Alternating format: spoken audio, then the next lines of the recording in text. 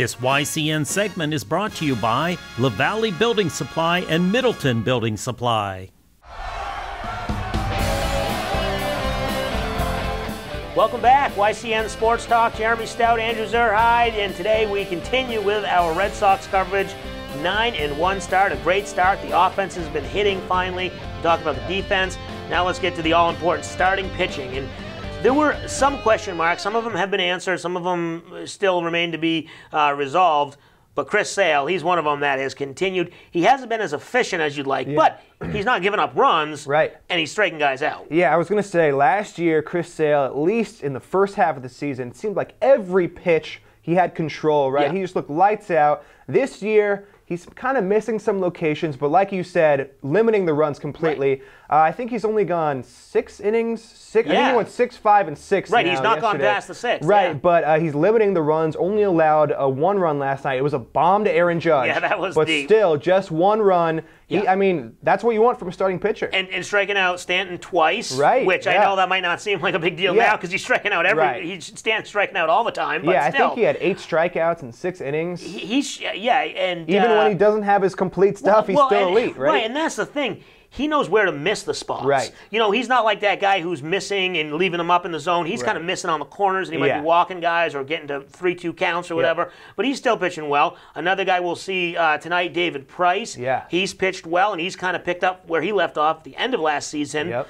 Uh, and then even after that, I mean, the rest of their pitching staff, obviously the two guys filling in, and Porcello. I'm really encouraged because yeah. even Porcello had a good opening game, and then his second game he gave up a couple runs, yep. but then he settled down. He's looking good. Maybe not yeah. back to Cy Young caliber, but a lot better than last year. Yeah, I mean, we all expect Chris Sale to be good, but David Price, yeah. you know, uh, I think people thought this might be his redemption year, and so far he's doing right. exactly that. I don't think he's allowed to run, right, through two starts. I think yeah, his he's, ERA he's, is zero. He's probably, yeah, he's been the best pitcher, I right. think, really. Yeah, really, the starting pitcher, absolutely. And so tonight against the Yankees, that's going to be a big test for him. Uh, I mean, if he can do what he's done already this season, I think a lot of people in Boston are going to start to be big David Price fans. yeah, right? exactly. Well, that's the thing. We knew it all along. When he Yeah. pitches well and the Red Sox are winning, they'll be Oh, yeah. right behind him. It was just he got off to a rocky start last Yeah, year, then the off season and the Eckersley stuff. yeah, the off field stuff. yeah. So a couple guys, uh, Rodriguez, Eduardo Rodriguez, he Yeah. pitched on Sunday. He has been the one exception to great starting pitching. You Right. knew it was he wasn't going to come out and pitch lights out. Yep. I guess where do you sit on on his outing? Didn't get into fourth inning or didn't get out of the fourth inning. Yeah.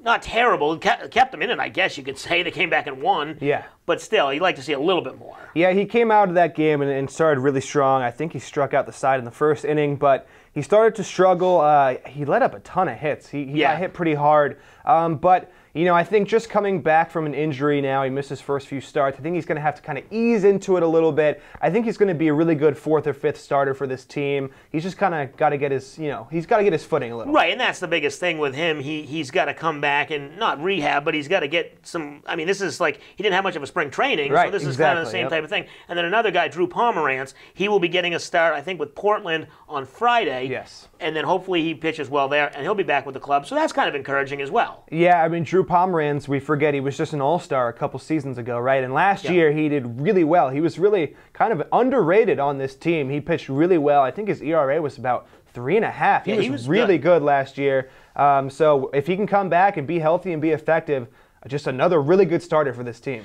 Okay, now we move to the bullpen a little bit. I mean, there's not a lot to talk talk about Right. there as the starting pitching has been lights out. Yep. But the bullpen, let's not forget, they've gotten out of some jams. They've gone out of some tough spots. Yep. Uh, they got a couple new guys in there. Yeah. Obviously, they got Craig Kimbrel in there. Yep. So, I mean, it's encouraging. There's not really a lot of holes right now. I know we're only 10 games in. Not a lot of holes on this team. Yeah, I mean, I think uh, Joe Kelly and Carson Smith have been a little shaky early on. Yep. Uh, that first game of the Right, season, obviously. we remember that one. That was a heartbreaker. But they've looked li- they've looked better um, going on t- uh, more games into the season. But Craig Kimbrel has been really good. He's been lights out. And is it Bobby Poyner? Poyner, yes, the Poyner, new He- lefty, Yeah, right? the new Yep. lefty. He's really low down in the prospect rankings in the Red Sox system, but he made the team. He's been really effective Yep. as a lefty out of the bullpen. Yeah, he pitched on opening day at Fenway and, and uh, kept them in the game, and so Yeah. he has been a nice welcome addition. Plus, they got a couple other guys in there, uh, but that bullpen is always evolving. As we've seen, the Yankees Yep. bullpen they've struggled, but we know they're going to be good. So it's kind of hard to actually get a pinpoint on on the bullpen ten days into the season. Right. But hey, they're winning. That's all that matters right now. Keep the keep it going. Against the Yankees. They got two more. Porcello on the mound for game three after David Price. So hopefully they can get the sweep in the early season against the Yankees because they all count the same Yeah, oh, no yeah. matter when they are. Absolutely. We'll take a break when we come back. We'll talk Celtics, NBA regular season wrapping up. Who will the Celtics face in the playoffs? And are they in danger of not getting out of the first round? We'll take a break. You're watching YCN Sports Talk.